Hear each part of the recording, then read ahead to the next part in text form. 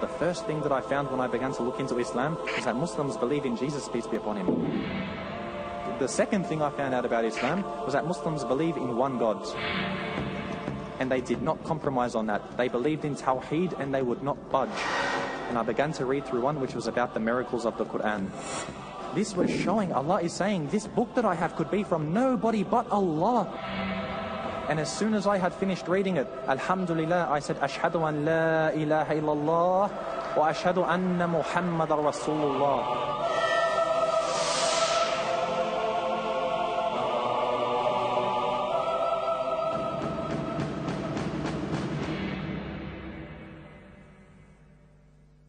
Assalamu alaikum wa rahmatullahi wa barakatuh. Brothers and sisters, at this time I would like you to join me in welcoming to the stage Brother Musa. Musa Cerantonio was born in Melbourne, Australia. He is from a family of six and converted to Islam at age 17. He is the proud father of two daughters, Aisha and Sophia. He has been a Muslim for five years and is currently studying history and communications with aspirations of becoming an instructor. Currently, he is the president of the Islamic Society of Victoria University in Melbourne, Australia. Brothers and sisters, I invite Brother Musa Cerantonio to take the podium and address us on the subject of From Darkness to Light. Brother Musa, the podium is yours. إن الحمد إن الحمد لله والصلاة والسلام على رسول الله وعلى آله وأصحابه أجمعين السلام عليكم ورحمة الله وبركاته Jazakallah khairah, Brother Isa, for the introduction. Basically, to begin, uh, as the brother mentioned, five years ago I embraced Islam. And I'm sure you're all wondering, what was it that brought me to Islam? Was it my own reading about Islam? Was it Muslims who gave da'wah to Islam? You know, what, how was it that I came to Islam? So inshallah, I'm going to try and cover all of those aspects. What was it about Islam that appealed to me? What was it from the Muslims that brought me to Islam? What were the major overlying causes so that inshallah, not only do you hear my story, but you can take lessons from it, inshallah. To begin, I was born in Melbourne, Australia, to an Italian father and a mother of Italian heritage. And for those who know anything about those two countries, Italy and Ireland, they are the two most staunch nations in following Roman Catholicism. Now, growing up, I always considered since Christianity, by numbers, is the largest religion in the world, slightly larger than Islam, and Roman Catholicism is the largest of those groups within Christianity. So, in the same way, Islam has groups like Ahl Sunnah wal Jama'ah, Roman Catholicism is one of those groups within Christianity. So I always figured since we're from the largest group of the largest religion in the world, we must be on the truth.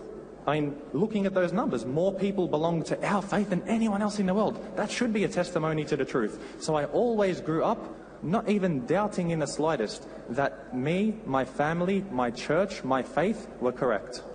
Just a side note, however, for the Muslims, Alhamdulillah, looking at numbers, and the sects of certain religions, the largest in the world is actually that of Ahl Sunnah wal Jama'ah, of the Sunnis. MashaAllah, those who are we are part of, Alhamdulillah. So even if we want to go by numbers, we are on the truth, Alhamdulillah. However, my family, even though we considered ourselves to be on the truth, we weren't very, very practicing. Whilst we were Catholic or Christian by name, we didn't really do much. We didn't go to church except on Christmas or Easter or when somebody died or when someone was getting married. And by all means, religion was not part of our family. So, um, even though I went to a Catholic primary school, even while we were there, the certain area in which Melbourne I live, you will find very, very few Australian or white or Anglo or Caucasian people. The majority are from Chinese, African, Indian backgrounds. So even in our primary school, the Christians were a minority. So while we came to our religion class to appease the other ethnic groups, we'd spend as much time studying Buddhism or something else rather than Christianity. However, when we did look at Christianity, when we would read the Bible, when we would learn about a religion, when we would talk about gods, you know, I'd really love it. I'd hear all of these stories of these great messengers of Allah. Jesus, peace be upon him, Moses, peace be upon him, Ibrahim salam, all of these, I used to really love it. You know, I'd hear it and it would really touch my heart. However, I never had the access to actually turning that love into action. Because as I said, we didn't go to church. We didn't do any activities with our religion. It was just left at that. They said, you're a Christian and be proud of it. And basically for us, that was it. Now, once I'd finished primary school and you get into secondary school, I'm sure many of you know those uh, years, you know, early puberty. You've got all of the, all this, you know, action inside of you, all of these hormones raging. So you spend most of your time going out with friends, going to nightclubs, doing this, drinking alcohol. Many of my friends later, as we got older, they'd start taking drugs. And I know for myself and a few of my other friends, because we had that religious background, we'd always, you know, we'd draw a line somewhere. So whilst we do a little bit of badness, we'd always refrain from other things. So we'd always identify ourselves by that. We were the ones who sort of knew our limits. Now, at that same time, it didn't stop all of us. Eventually, you get sucked in when you're in that environment. The ones who would say, No, I'm only going to drink a little bit, by time they would get into doing softer drugs, then harder drugs. And I've seen many of my friends Muslims as well doing drugs such as cocaine, speed, heroin. And I'd look and I'd say, you know, how can these people be doing this? How can they be damaging their bodies? Because I'd say for myself, you know, my religion tells me not to do that and I'd keep away from it. So whilst I was going through this, I'd still have that religious identity. I'd draw the line somewhere. While I'd have girlfriends, I would never fall into zina. I'd always say, no, I, I can't go there because it's something that Allah doesn't want for me. I'd always be able to stop myself that little bit. And I always had a few close friends who would always feel that same way. Now, at that same time, whilst, you know, I had that faith in my heart, going to secondary school, and especially my secondary school, was very, uh, was a very political school. And it was run by people who follow a methodology, a belief called socialism or communism. So it was a very liberal school. Out of all of the schools in our city, we were the only ones who didn't have uniforms. We wouldn't call the teacher Mr. Smith. We'd just call him John. It was very lax. We didn't have any fences around our school. There was no bells. So you see, they wanted to really instill in us a sense of freedom. Now this is one thing which really damaged me. Coming from a Catholic primary school, going into all of this freedom, man, I loved it. They said, you don't have to work if you don't want to, so I simply wouldn't work. You tell a kid he doesn't have to, he won't. But the one thing they would try and instill in us was a sense of following politics. And I'd say, well, if everything in our life is supposed to be about politics, let me do justice to it. Let me read about it. So they say to us, you know, you should follow socialism, the opposite of which is conservative politics, the most extreme of which is Nazism. So I'd get into my class and the teacher would be giving, you know, his or her beliefs about this, and I would say, you know, uh, I believe in Hitler and what Hitler said, just to enrage her. And they'd really go crazy. So I'd say this was something very close to people's hearts. So when all of the socialist parties used to come to our high school, I'd always be arguing with them. Even though sometimes I'd sit with them and I'd find some truth in what they said, or I'd sit with the people on the far right of the politics, I'd see what some truth in what they said. When I'd ultimately argue with them, I always found the topic of argument returning to religion. I'd talk to these socialist people, and they would say the most, the worst things, words I cannot even repeat about their hate for religion. They would speak about Maryam, about Mary, the mother of Jesus, peace be upon him, in the most vulgar terms, because generally they are atheists. And I think, how can someone abuse religion and abuse myself as such? What is it that makes them hate it so much? And I'd speak to them and they'd say, we believe that religion is the opiate of the people. This is what Karl Marx said in his book, The Communist Manifesto. It's something which numbs the people. It's a false belief which gives them some sense of security. And we see one of the uh, most famous philosophers in the Western world, he had a similar ideology. His name was Friedrich Nietzsche. And Friedrich Nietzsche, what he had said, he said, we as humans, we created God. We were the one who gave life to God. And now God is dead. These were his words. He said, God is dead. And I think, how can he say such a statement? What essentially he was saying is, we as humans, being so weak at a certain point of time, were created a God to give some sense of meaning to our life. And now, after the so-called enlightenment, which was nothing but enlightenment, rather was sending us into darkness, turning us away from the truth. At this time, we got rid of God. We didn't need him anymore, so we killed him off. And I always responded to them. I said, You can go to Friedrich Nietzsche's home country and you can see his grave there. It says Friedrich Nietzsche. And I tell you, Friedrich Nietzsche is dead and God is living and eternal. Alhamdulillah. People, they claim such things. He says God is dead, rather, he is dead. So you can understand, I was very enraged by what these people would be saying, bringing these ideologies. And when I would ultimately argue with them, they had nothing to stand upon. They would say, you know, it's a fallacy to believe in God. There's contradictions in all of these beliefs. And I'd ask them for their proof, and every single time they would be wrong. So I felt an amazing sense of attachment to my belief. But ultimately, in my heart, I thought, I really don't know that much about my belief. I'm willing to fight for it. And there were times where we physically had to fight for our belief. There were times in high school where people would amazingly offend us and it would come to blows. It was that serious sometimes. So I thought the least I can do is read about my religion if I'm willing to fight for it so much. So the first thing I did was I went home and I grabbed the Bible and I opened from page one. And you have to understand, going to a Catholic primary school, they only show you certain verses of the Bible because the Bible is not a very light book. So they'd say, you know, read only this page and that page. So when I started to read it for myself, it was quite a big shock. Anyone who's read through the Bible, and I'm sure Dr. Zakir Naik has mentioned many such things, as is Ahmed Deedat, rahimahullah. Some of the stories in the Bible from the very beginning, they are very lewd. They are almost pornographic, if you like. So as a young kid reading these verses, I thought, hold on, this is the word of God?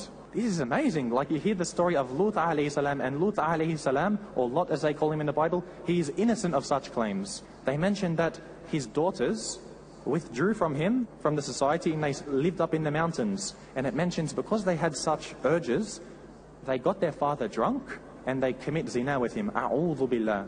So you can understand, coming across these verses, this is something I've never heard before. This is a side of religion which I never thought existed. But the main shock was when I was going through a book of the Bible which is called the Book of Deuteronomy. And the book of Deuteronomy is basically a set of laws which was given to Musa alayhi salam, to Moses. Some of these laws were as follows. I would see that God was saying to the people, you should grow your beards. You should not shave. And I thought that's very strange because if you see the Pope, if you see our local priest, if you see basically any Catholic on the face of the earth, they're always clean shaven. Now, what's this thing about growing a beard? Then it was saying that you should not become drunk. You should not you know, drink alcohol. I'm thinking, but hold on, when we go to our church every Sunday, the priest actually gives us wine to drink. And it also said that you should not eat pork. You should not eat it from a pig. And I thought, ah, Ajib, this is, this is really amazing because, again, every Christian I know, it's like the most Christian thing you can do. Sit down and eat pork. They love it, especially Italians. It's like their staple meal. So I thought, where did this come from? How could it be that God is saying something, yet we're doing something different? And in the back of my mind, I always remembered, you know, like I knew Jews didn't eat pork. And I had some Muslim friends growing up and basically, their religion to me was the fact that they didn't eat pork. That was the one thing which really, you know, made them uh, describe them that they didn't eat pork. So I thought, oh, they're not doing it, and our Bible's telling us not to do it, so I'm going to stop doing it. That's it. Alhamdulillah, God has told us this, so I will stop doing it. So as soon as I started doing these things, and I also tried to grow my beards, you know, I could never grow it too much. It would always get to annoy me a little bit. But alhamdulillah, as you can see now, it's growing at that time, you know, I started to do this, and all of my uh, family, some of who claimed to be, you know, religious practicing Christians, they said to me, "Why are you growing your beard? Why won't you eat pork? Why won't you drink alcohol?" And I'd say, "Well, the Bible says so," and they'd say to me, "Well, no, no, that's in the Old Testament. We follow the New Testament." I'd say, "How is it that you can reject part of what God says and only accept some?" Like I'd say to them, "Do you accept homosexuality?" And they'd say, "No, of course not." I said, "Well, that's in the Old Testament." What do you say to that? And they wouldn't know what to say. I'd say you're hypocrites. All of you all hypocrites. You're only taking from what is easy for you. And alhamdulillah, that's one thing which later on impressed me about the Muslims. They wouldn't pick and take. Even if they drank alcohol, for example, they wouldn't say that it was halal. They would say, Allah said it haram, and may Allah make it easy for me to stay away from such a thing. So that was one thing, alhamdulillah, which was good about the Muslims. So uh, around that time, in uh, the year 2000, I actually visited the Vatican. Now, the Vatican is a place in Italy, in Rome, and this is the seat of Roman Catholicism. Now, once I got there, it was the year 2000, the year of the Jubilee, as they called it. And they've got a special door within St. Peter's Basilica in Rome. And this door is called La Porta Santa, or the Holy Door. And they say, when you walk through this door, all your sins are forgiven. And I thought, wow, just walking through a door, all of our sins are forgiven? Where did this come from? Like I'd question it. I didn't, I didn't care what the Pope said. I didn't care what they were telling us. I'd say, where in the Bible does this come from? Where did the Pope get this authority? In history, they would constantly contradict themselves. They'd say one thing, then do another thing. How can they claim to be infallible? These are humans. We only follow what God says, which made me a stranger amongst the Christians. But the biggest surprise was actually once I'd got inside of the door. The first thing I was greeted by in the corner was the body of one of the dead popes. And what they had done is they had embalmed this pope so his body would survive throughout the ages and coated it in gold. And what the people were doing was coming up and praying to this dead body. Billah, they were praying to a dead body. And I'm looking at, and I'm thinking, this is supposed to be a place which is the home of my religion, yet I feel so uncomfortable. What are these people doing? How can you be praying to a dead body? Then I'd see there was a statue once you get past that, and people were rubbing the feet of this statue. And they'd say, when you rub the feet, you make a wish. I'm thinking, ah, Ajib, this is idol worship at the supposed home of my faith. You go on a little bit further and you see, A'udhu Billah, there's a place within the Vatican called the Sistine Chapel. I'm sure many of you would have seen pictures of it. They call it like the pinnacle of Renaissance art. Within there, what it is, is you look up at the roof and there's a massive uh, painting of all of the stages of creation. And the centerpiece of this is a picture of God Himself and Adam alayhi salam. Now, I studied at least enough to know the Ten Commandments. The second of which is you should not make pictures, you should not make images of your Lord. Yet in the, in the Sistine Chapel within the Vatican, we see a picture of God. And all he is is an old man with a long grey beard. Is this who you're worshipping? You're told not to make images of your God. And now you're going and doing such things. Again, this is idol worship. And I felt in my heart that this, it's not right. Even though I've grown up being told this is what I'm supposed to believe, I reject it. So around that same time, I called myself a non-denominational Christian. I was someone who believed in God and you know, I didn't follow any certain church. So I felt really disassociated from all Christians. And it was around this time that I started to read about other religions, not out of interest, you know, uh, that I was searching for something that I needed. I was just interested in reading. So I read about Hinduism, about Buddhism, about this religion, Shintoism, Zoroastrianism. But I never looked into Islam. It was only after some time that I met a Muslim friend of mine, and subhanAllah, look at how much he loved Islam. He said, Nice to meet you. My name is so and so. Would you like to become Muslim? MashaAllah. How many of us have started a conversation like that?